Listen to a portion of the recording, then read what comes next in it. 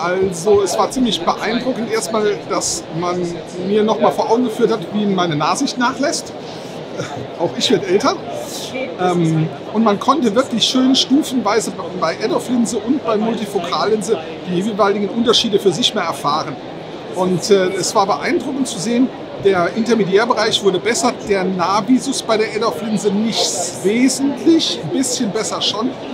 Und bei der Multifokallinse habe ich gemerkt, die, der Nahvisus ist viel besser, aber das Kontrastsehen nimmt ein bisschen ab.